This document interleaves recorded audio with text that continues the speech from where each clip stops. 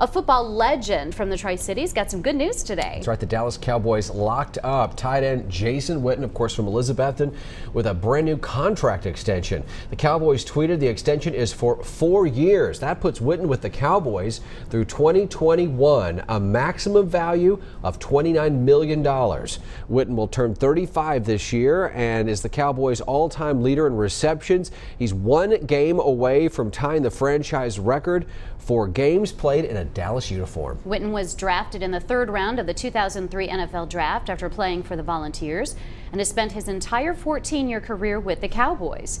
He's made 10 Pro Bowls and missed only one game since 2003.